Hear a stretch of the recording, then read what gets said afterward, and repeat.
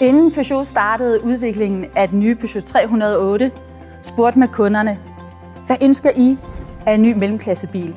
Her er svaret. En bil med et attraktivt og dynamisk design, en bil med ny teknologi og en bil funderet i kvalitet. Den nye Peugeot 308 er kulminationen på en lang udviklingsrejse, der startede helt tilbage i 1932, hvor Peugeot præsenterede den nye 301. Den nye 308 er den første model, som er udsmykket med Peugeots nye logo. Det er et våbenskjold med et stolt løvehoved. Et våbenskjold, der tager afsæt i de unikke historiske rødder og samtidig peger ind i fremtiden. En fremtid, hvor Peugeot vil tilbyde mobilitet baseret på teknologi, og især mobilitet baseret på passion og kvalitet. En passion, som ikke kun opleves, når du sidder bag rattet, men som i høj grad afspejles i designet. Det er båret af dynamiske og strømlignede linjer, der tilsammen skaber et eksklusivt udtryk.